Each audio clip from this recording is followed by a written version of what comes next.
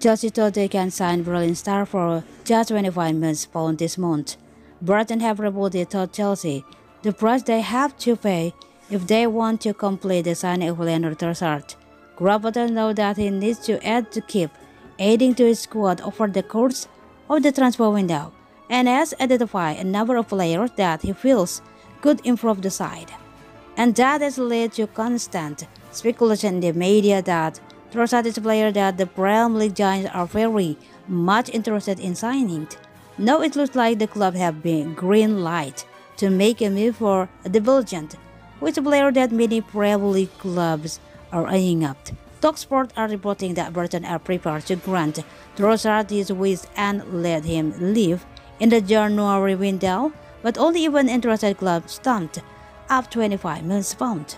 The news comes after his agency has also revealed us a few days ago that Trossard does not intend to renew his kick goals contract and will now look to leave Brighton. A statement from Leandro Trossard, the agent, was he come here read. Before Leandro left for Qatar, it was Brighton's intention to extend Leandro's contract.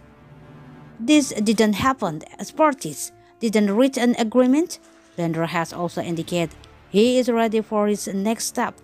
After the WC, there was an altercation at training between Leandro and another player over an identity. Since then, the trainer has not spoken to Leandro, which is absolutely not conducive to the atmosphere as well as prominence with.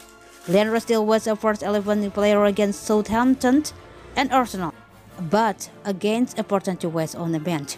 In the five substitution that took place then, it was also an amount damaged without any explanation. In the run-up, the, the match against Middlesbrough for the FA Cup, Leandro has already reported calf problem twice. It was the reason stopped training this was a consultation with the medical staff. Through the physical trainer learned that he had to train spiritually.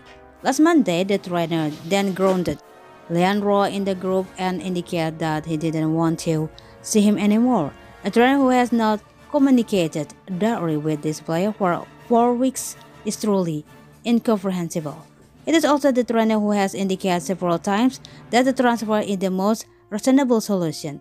It is therefore important the player turn cooperate this market with a potential transfer, which is beneficial for both parties.